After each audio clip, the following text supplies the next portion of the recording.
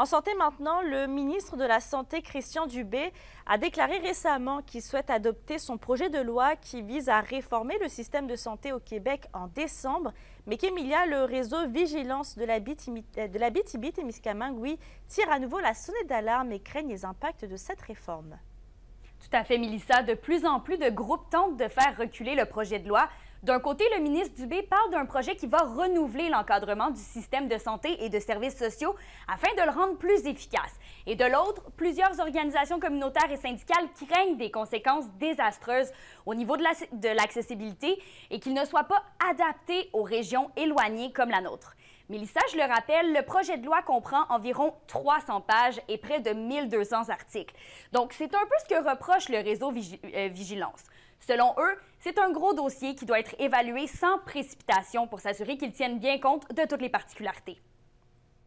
On trouve que c'est un projet de loi très volumineux qui va très rapidement. Euh, le processus est antidémocratique. Les consultations, euh, c'est pas tout le monde qui a pu euh, s'exprimer. On craint que les organismes soient de plus en plus intégrés dans le réseau, ben, le système de, santé et de services sociaux et que dans, dans ces cas-là, ça aurait une atteinte à leur autonomie.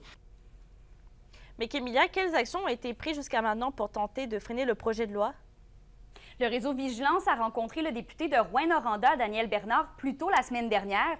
Monsieur Bernard n'a pas été en mesure de nous accorder d'entrevue aujourd'hui, mais il nous a toutefois fourni une déclaration dans laquelle il dit qu'il était heureux de rencontrer les groupes communautaires, mais que selon lui, le projet de la loi 15 ne va pas affecter l'autonomie des organismes communautaires ni leur financement et que comme chaque centre hospitalier va dorénavant avoir un directeur, on parle plutôt de décentralisation dans chacune des, des MRC.